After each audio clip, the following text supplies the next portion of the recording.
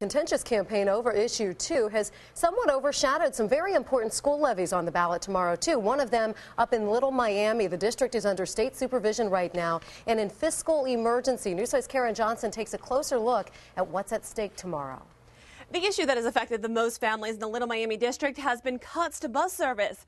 But the district says if this levy passes, students could be stepping back on the bus by as early as January. Uh, we'll be able to get busing back. We'll be able to get some key services back to our kids, like specials, art, music, and gym that our kids haven't had for several years now. There's a plan afoot to possibly reopen um, two schools in our district. And every day, half day kindergarten will be restored.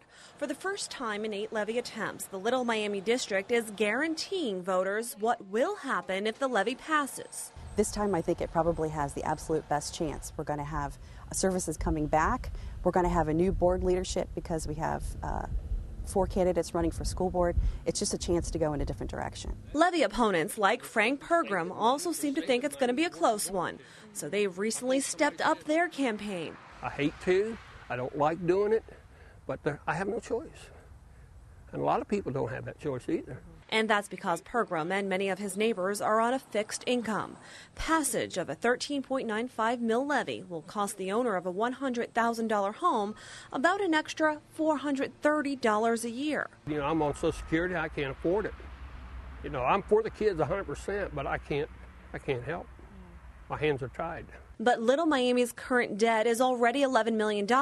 If the levy fails, that could jump to 17 million.